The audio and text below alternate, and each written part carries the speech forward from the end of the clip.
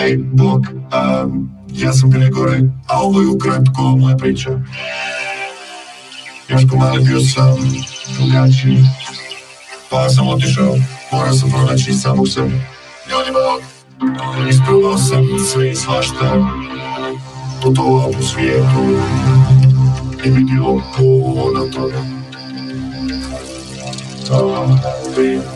Završio sam čak i faks, ali se i dalje nekako nisam uklapao, nisam pripadao. A onda sam jednog dana dobio svoj prvi posao u Tele2. I nismo kao drugi i pružamo mi sve i dajemo i hvala sve i dobro I napokon sam osjetio da da sam kod kuće.